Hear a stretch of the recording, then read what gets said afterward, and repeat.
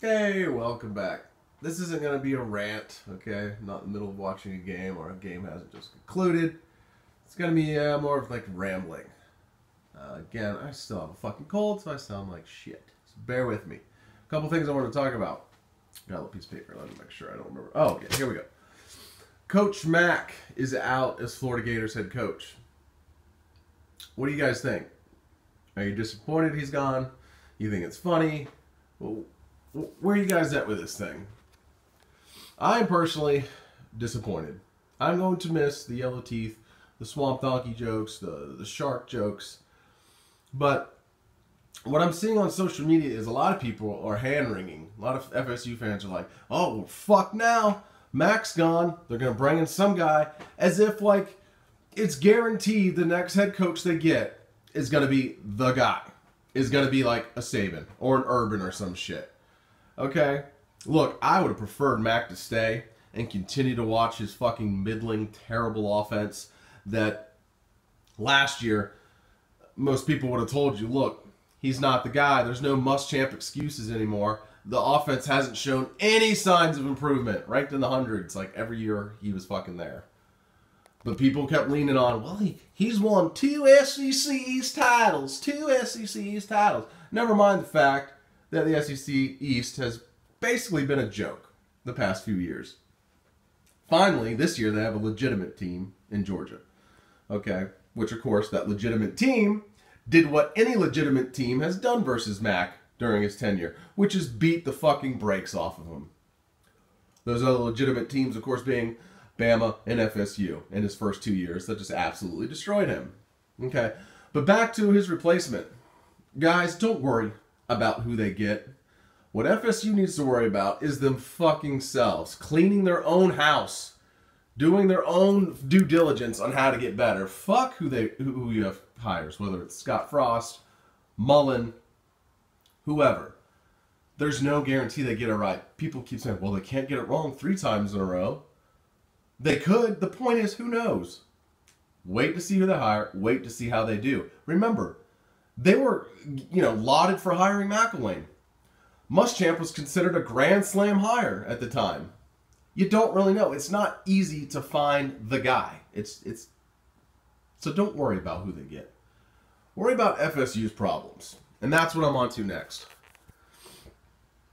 Why is FSU where they are now? Just two and five, just complete train wreck. Okay. And can they turn it around? Can Jimbo turn it around?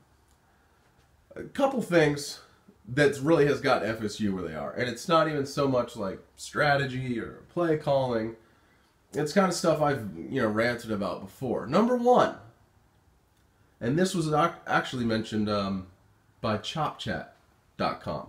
It's a kind of a small, FSU, smaller FSU website through a Fansided, and they were dead on because it's the same crap that if you watch and you read, uh, you know, other other things about the team and the culture, it wasn't surprising to hear what they said. this is one of the things they said: accountability. Kind of what I've been ranting about. You have players, whether it's like a McFadden, excuse me, uh, or a number of players that take off plays, like Nooney. You have players that aren't giving 100% effort or not even doing their job that well, aka uh, McFadden on punt returns, being terrible. Yet they play, they start those guys like that, Nooney and McFadden, they start every week. So if you're another player looking at that, what are you thinking? Like, well, okay, well, they're not trying that hard. They're not doing their job, yet they play every week. Why the fuck am I going to give 100% effort? Why am I going to give a shit? Okay, and this is true in any business. I'm going to bore you with a very small or very short uh, story. I used to be an operations supervisor at UPS. I had employees, they ranged from about, most of them were between like 18 and like 22 years old, much like college students at FSU. Hmm, what do you know?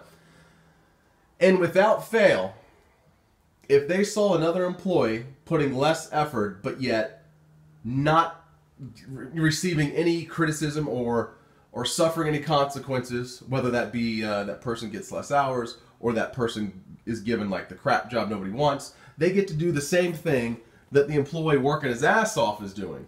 And without fail, they would always be like, hey, why does so and so, you know, doesn't have to do that or doesn't do that, but I do? Man, that's bullshit.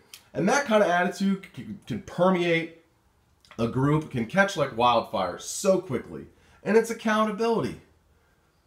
Whether it was me or some other supervisor back in the day, you had to, your shitty employees, you had to keep them in check. You had to let them know that if you don't do this, here's the consequences, whatever that might be. Showing up on time, whatever. All right, so enough boring you about, you know, an old job I used to have. But it's the same with FSU. These players that should be like benched at this point, McFadden. I don't care how, about his five star status. I don't care about his physical attributes. He is not giving enough effort, and he sucks at punt returning. Put his ass on the bench, at least for one game, to show the rest of the players we're not going to put up with people that don't try hard enough. We're not going to put up with people that are failing at their fucking job over and over again. Who can't catch a punt? Who cost the team field uh, field position over time and time again? So accountability. And that also goes with the coaches. There's coaches that haven't been living up to FSU standards for years now.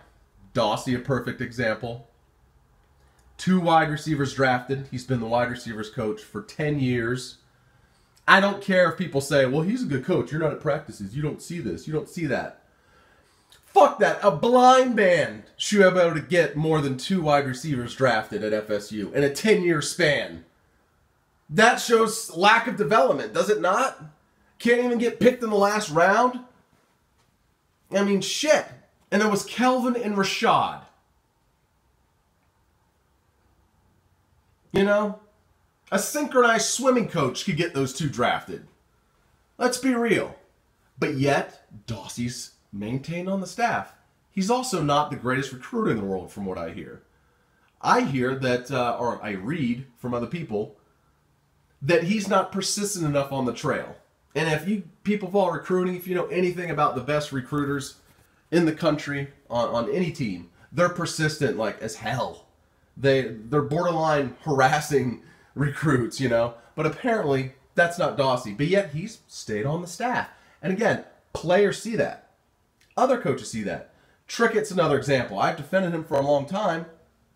But now the past few years, the sample size is now very large enough.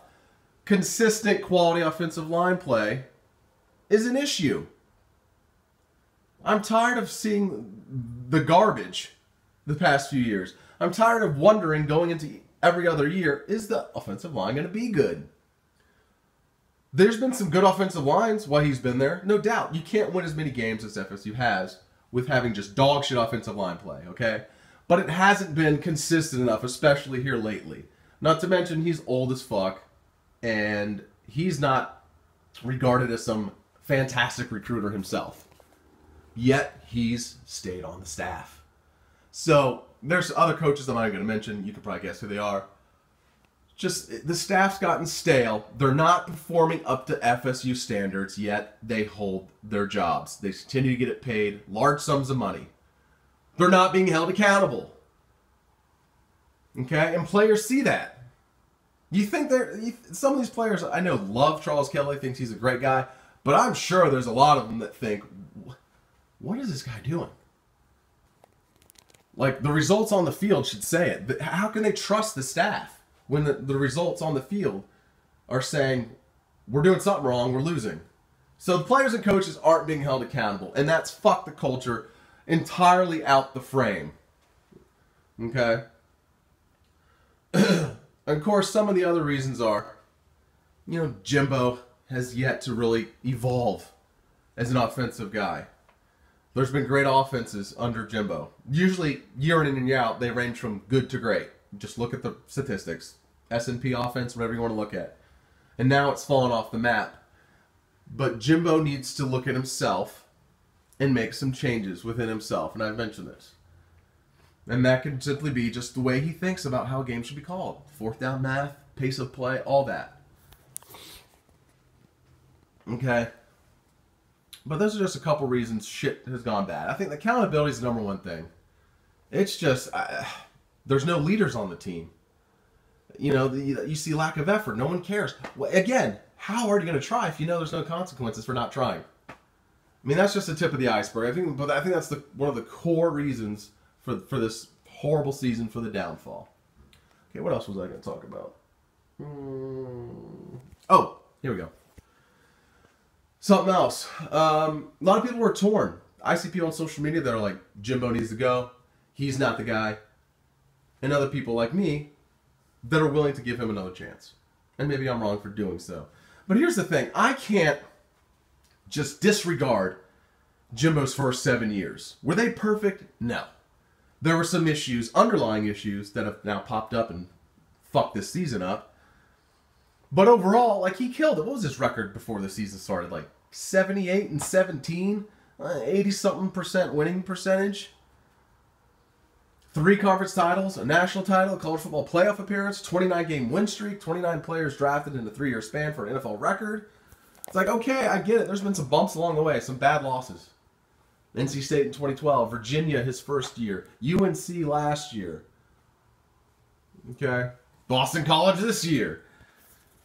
But I'm willing to give him a chance to make sweeping changes to this staff.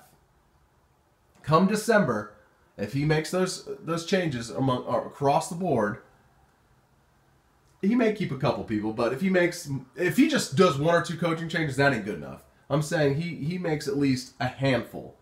Then I'd be like, okay, check mark number one. Okay.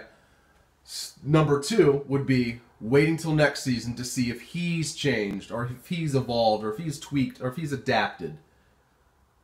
If he's still running or calling plays like slow as shit, or if he still doesn't get fourth down math, then at that point I might be like, maybe he's not the guy. Maybe the game in, in just a, a short eight years as head coach has passed him by.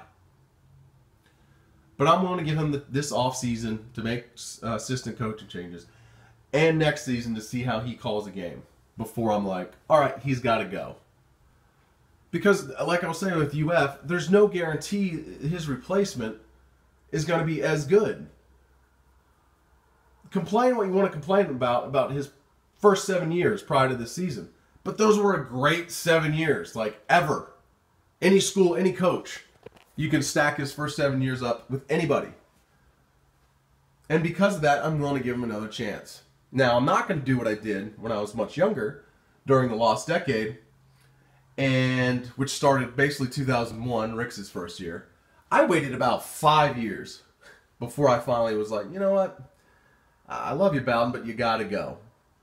Okay, because you can't wait that long, especially nowadays shit can go bad and then, create a long term just fucking lull. Uh, it just long term mediocrity. So that's why uh, I'm going to be much less patient, but I'm at least giving him next year. But yeah, the lost decade. It wasn't until, and I'm sure this is like a lot of people, 2006, uh, zero to 30 versus Wake at home. That was finally the nail in the coffin for me. Like, all right, Bobby, it's time to go, buddy. Okay, but that point hasn't happened yet with me and Jimbo. Uh, happened yet with me, with Jimbo. If it has for you, I mean, maybe you're right. Maybe it's like fuck it. But but let's be real. He's not going anywhere. I mean, that's number one. He's not going anywhere. His contract is insane. The buyout, I don't know what it is, but I'm sure it's ludicrous. Okay. So you might as well not even wring your hands over it. Because it's going to take a hell of a lot more than one abomination of a season for FSU to pony up the Bucks to get rid of him. So I wouldn't even bother just bitching about him wanting to wanting him to, to get out. It's just not going to happen. It would take a, multiple horrible seasons for them to be like, all right, well, we're going to pay you to move the fuck on. So instead, I think he'd be better served to, to wait for the offseason and see if he makes those changes. And seeing if he changes himself come next season. Uh, I'm willing to wait at least for those moments. If he doesn't, if he only makes a couple changes in this offseason, or if I see the same crap I'm seeing this year, next year, yeah, again, I might flip a switch and be like, all right, maybe he should go. Or, man, I would like him to go at the very least. All right, I'm going to cut it off there. Oh, by the way, before I go, in the comment section, I don't think I asked this in the first part. Mac's replacement. Who do you not want to see? Even though I think that you shouldn't worry because there's no guarantee that coach could be. Who do you not want to see? Is it Scott Frost? He seems to be the hot name. Great offense. Seems like a good fit. Or is it someone else you just don't want to see go to Florida? There's only been one hire, whether it's a Miami hire or a Florida hire, that I was like, I actually did some hand wringing, and that was Urban. You could you could just tell like he he was that dude when Florida hired him instead of Charlie Weis, because I think those were the two top coaching candidates that year. Weis went to Notre Dame, obviously, and Urban went to Florida. And when he did, I was like, yeah, that's not good. Uh, probably fucked. But beyond that, there's no coach where I was like, uh oh, uh oh, Golden tired. Uh oh, even Mark Richt. I don't care that Richt won this year. The guy's proven time and time again he's not a national title level coach. Miami will lose at some point. Okay, I mean, congrats on you know beating a retarded version of FSU this year. I mean, you got bragging rights for a year, so that's nice. But please tell me you don't really believe we back. You're not back. You're scraping by UNC, scraping by Syracuse, scrape by FSU, who sucks this year. Okay, so no hire, no no coaching hire except for Urban has really made me to be like, oh no. But I want to hear from you. Who do you not want to see be Florida's head coach? Comment below. Thanks for watching. Please subscribe. Hit the thumbs up. Comment because I love I love uh, getting a dialogue going with FSU fans or college football fans. Trolls, you're more than welcome too. All right, I'm out.